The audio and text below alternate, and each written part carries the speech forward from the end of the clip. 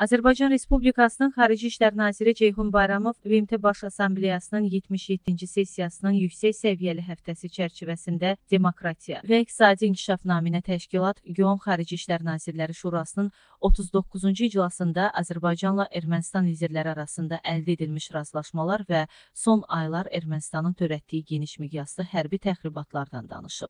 Bu barədə Modernazı Azərbaycan Xarici İşlər Nazirliyindən məlumat verilib.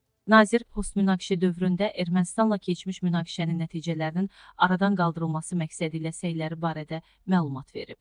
Nazir regionda bərpa və yenidən qurma tədbirləri, məcburi köçkünlərin geri qayıdışı, bölgədə yaşayan etnik ermənilərin reinteqrasiyası üçün bəzi layihələr, habelə bölgədə mina təhlükəsi barədə iştirakçıları məlumatlandırıb. Üç tərəfli bəyanat və Azərbaycanla Ermənistan liderləri arasında əldə edilmiş razılaşmalar çərçivəsində kommunikasiya və nəqliyyat xəttlərinin açılması istiqamətində işlər aparıldığı, habelə Azərbaycan tərəfindən sülh sazişi təklifi irəli sürüldüyü vurğulanıb.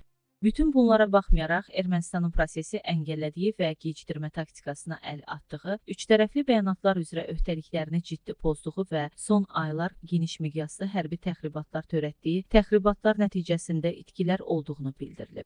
Ermənistan tərəfinin destruktiv fəaliyyətlərinə baxmayaraq, ölkəmizin sülh gündəliyini irəlilətməkdə əzmli olduğu və danışıqları davam etdirdiyi diqqətə çatdırılıb.